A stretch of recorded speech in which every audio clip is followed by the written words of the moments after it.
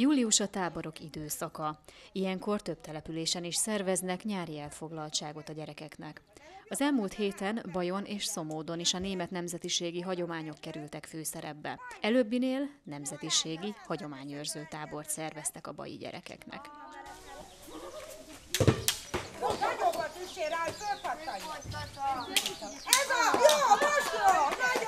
Ezen a héten a hagyományőrző táborunkat tartjuk. Két héttel ezelőtt volt a napközis, az más típusú programokat akart, a hagyományőrző tábor az hagyományos most például hagyományos játékokat játszunk, de az egész hetünk a hagyományokról szólt.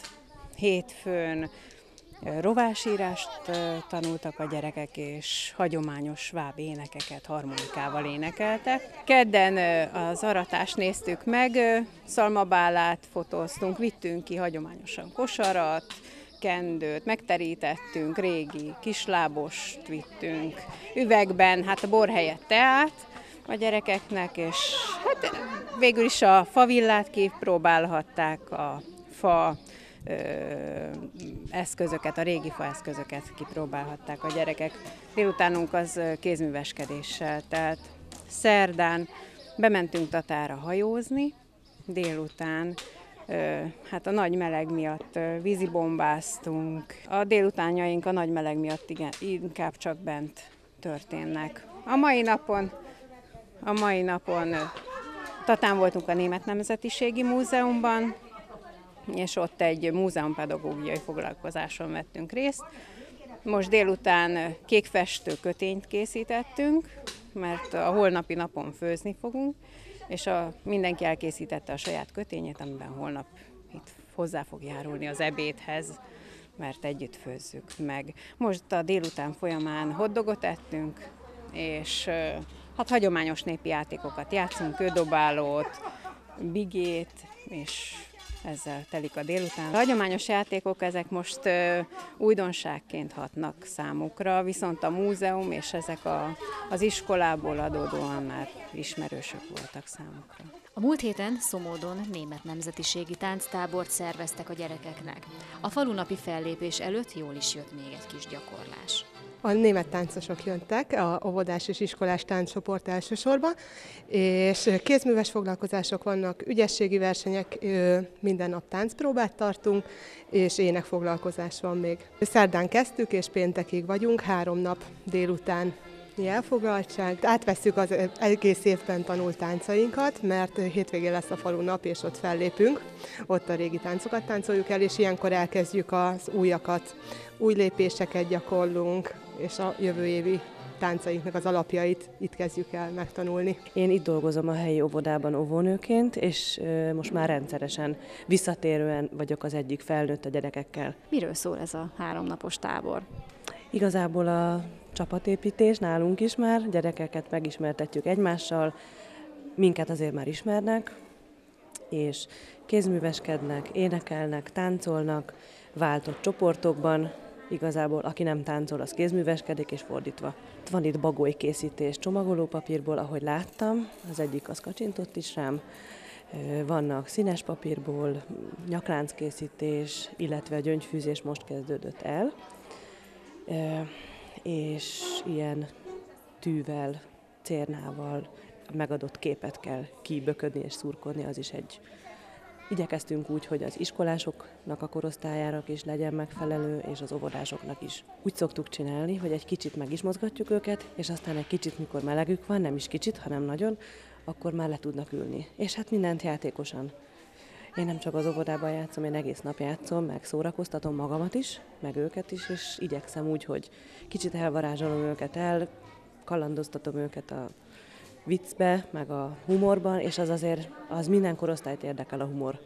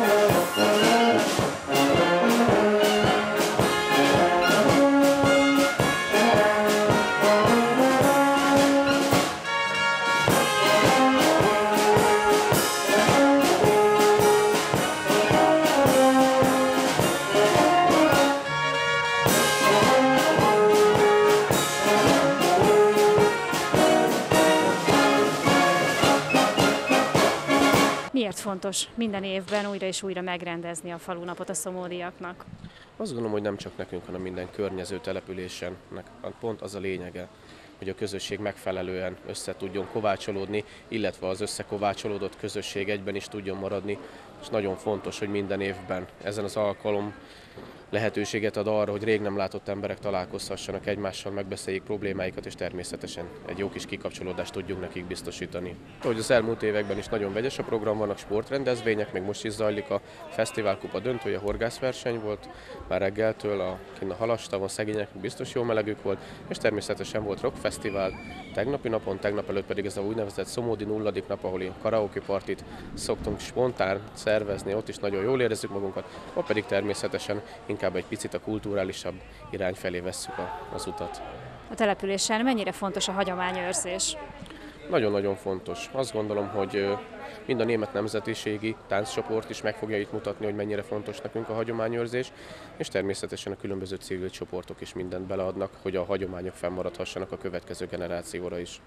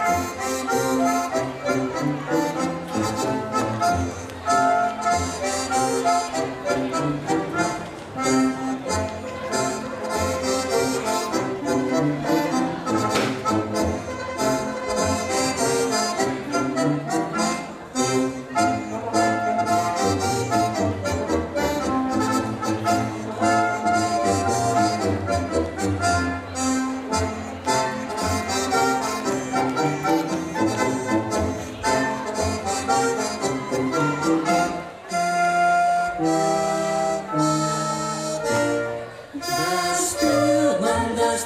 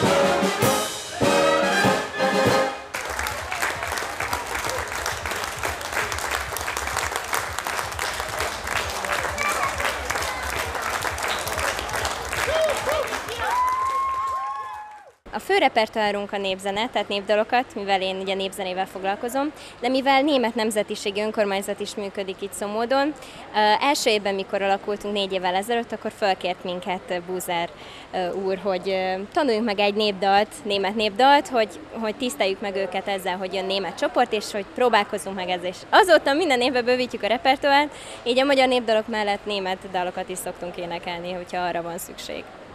A mai fellépésre milyen, milyen dalcsokorral készültetek? Hát citeren fogom kísérni az énekart, tehát három dalcsokorra készülünk, illetve boros dalokkal mellette, mert szokott lenni borverseny itt minden évben, és a férfiak nagy örömére bordalokat is szoktam tanítani, és nagyon szeretik énekelni a nőkkel együtt. Illetve a végén azért egy német dallam is elhangzik, mely magyarul is és németül is megszólal. Hány tag van az énekkarban? Férfiak, nők, fiatalok, idősebbek, gyerekek esetleg? Hát nagyon változó a csoportnak a létszáma, állandóan változik, ugyanis hát ugye családanyák vannak, családapák, és akkor a program van, akkor nem tudnak mindig részt venni, illetve nagyon vegyes a korosztály. Tehát egészen voltak 20 éves fiatalok is, és egészen a nyugdíjas korosztályig. Illetve tanárok vannak még főként, Hát 25 és 35 között változik a létszám, tehát általában ilyen 20 és 30 között. Milyen a társaság, mennyire jól összeszokott a csapat? Most már teljesen azt mondhatom, hogy igen, illetve egyre több felkérésünk van, és próbálunk eleget tenni mindenek, amikor csak tudunk, és nagyon jó hangulatba szoktak tenni a próbáink, tehát a férfiak hoznak bort, a nők pedig édességet, süteményt, illetve a névnapokat mindig megünnepeljük, és így az éneklés mellett így a jó hangulatba telik a próba.